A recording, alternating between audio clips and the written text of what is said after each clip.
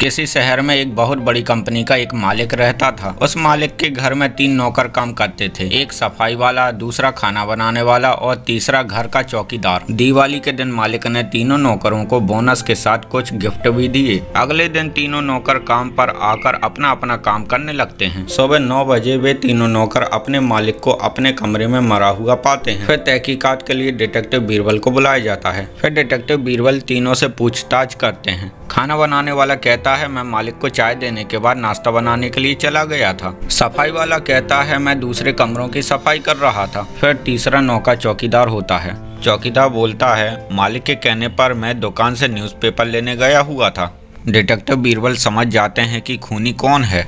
क्या आप बता सकते हैं सवाल का जवाब? हमें कमेंट करके बताइए। तो अब सुनिए इस सवाल का जवाब। डिटेक्टिव बीरबल कहते हैं, खूनी चौकीदार है, क्योंकि कल दिवाली का दिन था। यानी कल पूरे देश में छुट्टी थी, दीपावली के दिन कोई पेपर नहीं छापा जाता है। तो तुम कौन सा न्यूज़पेपर लेने गए हुए थे? हार मान का चौकीदार मान लेता है कि खून उसी ने किया हुआ था।